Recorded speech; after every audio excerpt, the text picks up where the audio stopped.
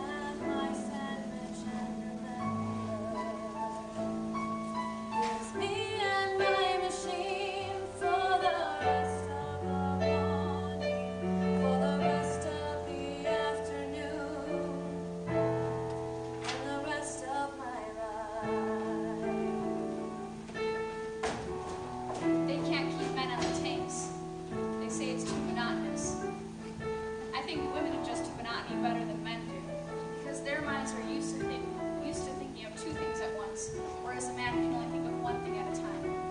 A woman can listen to a child while she's